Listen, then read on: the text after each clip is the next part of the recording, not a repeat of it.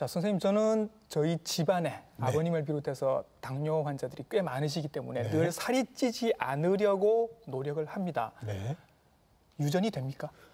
어, 유전은 당뇨병에서 예. 굉장히 중요한 원인의 한 축인 것만은 분명하고요. 예. 우리가 이제 흔히 어른들에게서 나타나는 이형 당뇨병의 경우에 네. 부모님 중에 한 분이 당뇨병이다. 예. 그러면 그 자손에게 당뇨병이 나타날 확률이 25%는 증가된다고 4분의 이야기를 1은 합니다. 네, 네.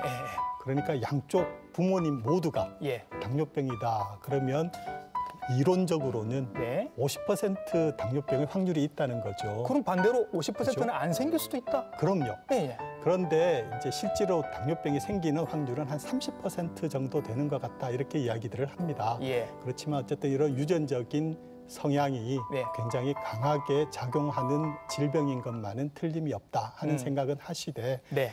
그렇다고 부모님들이 당뇨병이라고 자손들이 모두 당뇨병에 걸리는 것은 아니니까 네. 어떻게 잘 예방을 하고 건강한 생활 수칙을 잘 유지를 하신다면 네. 당뇨병의 공포를 떨쳐낼 수 있지 않을까요? 그것도 여러분들 대체로 알고 계시는 당뇨의 세 가지 증상, 뭐 다음, 다뇨, 구갈 이렇게 네. 말씀을 하는데 이런 증상들이 없는 분들이 대부분 아닌가요? 어, 말씀하신 대로 뭐 보험 검진이라든지 네. 직장 검진이라든지 예. 또는 우연히 뭐 주변에 당뇨병 환자가 있어서 집에서 실제로 손가락 끝에 재봤더니 해봤더니 어, 혈당이 높아 이렇게 어. 해서 오시게 되는 경우가 더 많죠. 네.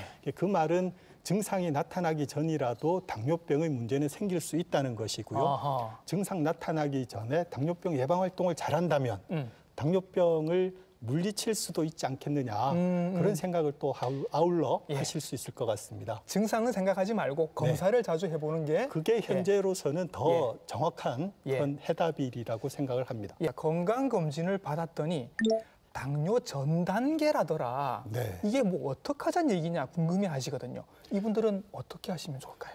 자, 당뇨병 전 단계가 중요한 것은 예. 일반인에서보다 당뇨병으로 발전을 하게 될 위험성이 그만큼 높아진다. 두배 어, 이상. 가능성이 많다. 있고요. 그렇죠. 예, 예.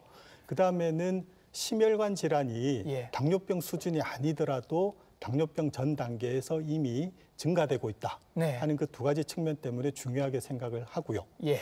어, 건강한 생활을 통해서 우리가 체중이 많이 나가는 경우에 체중을 줄여준다거나 하면 네. 당뇨병 전 단계에서 정상 단계로 회복을 시킬 수가 있습니다. 어, 어. 그러니까 예방이 가능한 시기이기 때문에 어. 또 그만큼 중요하다고 생각을 할 수가 있겠죠. 네. 자, 공복 혈당을 예로 들어 보겠습니다. 네. 정상적인 공복 혈당이라고 하면 100 이하를 보통 얘기를 그렇죠. 하죠. 70에서 100 정도 사이. 예, 예. 당뇨병의 기준이 되는 공복 혈당 치면 127? 126 이상? 이상이면 네, 예. 이렇게 이야기를 예. 합니다. 그러면 100에서 126은 뭐냐는 그 거죠. 사이가 애매한 그 예. 구간. 네. 그래서 한 10년, 20년 경과를 보면 네. 이렇게 공복 혈당이 정상보다 조금 높은 이런 분들이 결국 당뇨병이 거의 되더라. 아. 그런 위험성이 네. 높아지더라. 예. 뭐 이렇게 생각을 합니다. 음. 그래서 요새는 네. 당뇨병 전 단계라고 부르기보다는 네. 아주 가벼운 초기의 당뇨병 단계라고 부르는 게 좋지 않겠느냐. 아, 조금 그런- 더 경각심을 그렇죠. 예, 일깨워주는 쪽으로. 어. 그래서 그런 이제 학자들의 주장도 있습니다. 네. 그래서 공복혈당을 보시고 예. 100이 넘는다 그러면 어, 어젯밤 마신 술을 떠올리실 수도 있겠지만 예. 어, 내가 조금 비만한 편이다라든지 예. 혈압이 조금 높다라든지 음. 또는 가족들 중에 당뇨병 환자가 있다라든지 예. 또는 음주를 많이 하시는 분이나 흡연을 하시는 뭐 이런 경우에 당뇨병의 발병 위험률이 점점 높아진다고 하거든요. 예.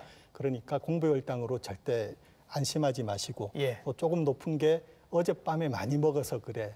하던 운동을 어제 안 해서 그래. 어. 이렇게 해서 자꾸 회피하지 마시고 음. 조금 더 적극적으로 검사를 하셔서 어. 당뇨병이지는 않을까 하는 어. 것을 빨리 확인하고 위험이 높다면 예방 활동에 더욱 더 노력을 해서 어. 우리 지금 곽 원장님처럼 네. 아, 내가 가족력도 있고 해서 조심하니까 지금 건강하게 잘 지내고 있어. 예. 음. 이런 삶을 만들어 나가셔야 되리라고 생각을 합니다.